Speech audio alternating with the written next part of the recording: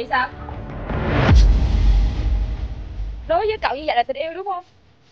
Nếu như cậu còn lương tâm Làm ơn buông tha cho anh Cường đi. Không. Người anh Cường yêu á Là tôi. Nhưng tôi là vợ của anh. Cho dù anh không còn yêu tôi Nhưng anh thương con.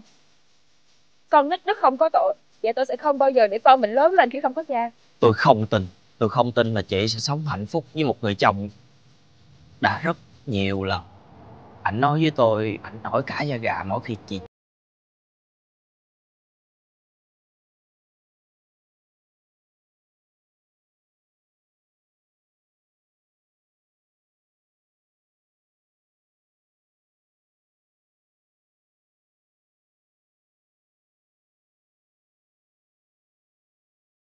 Mẹ không có ba hả?